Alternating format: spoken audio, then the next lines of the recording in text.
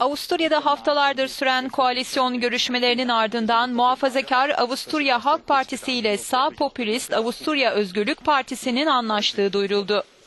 Başbakanının 15 Ekim'deki seçimlerden birinci çıkan Avusturya Halk Partisi'nin lideri Sebastian Kurz'un olacağı hükümetin önümüzdeki pazartesi günü resmen ilan edilmesi bekleniyor.